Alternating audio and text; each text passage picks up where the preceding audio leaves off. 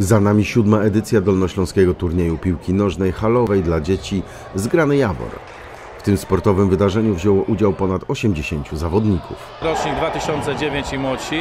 Y, Drużyny, które dzisiaj nas y, tutaj zaszczyciły, to są drużyny y, AP, czyli Akademii Piłkarskiej Gliwice, Falubas, Zielona Góra, Miedź Legnica, Górnik Wałbrzych, Śląsk Wrocław i drużyny miejscowe piłkarskie, czyli JTS i Kuźnia Jawor. E, po raz kolejny możemy się spotkać i obserwować te e, mistrzowskie zmagania. To też dobrze, bo gromadzi i samych zawodników, dzieciaków, e, rodziców, e, całą organizację e, stowarzyszeń sportowych.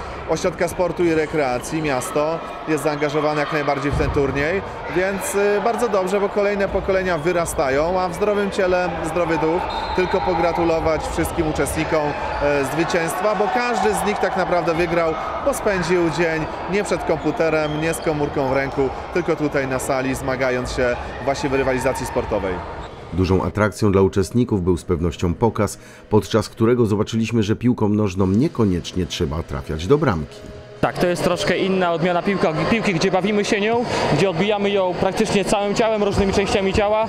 Jest to, że tak powiem, piękniejsza strona piłki. Fajnie to wygląda, mam taką nadzieję, dlatego tym się zainteresowałem. Ile pan ćwiczy? Od 11 lat, czyli od 2009 roku.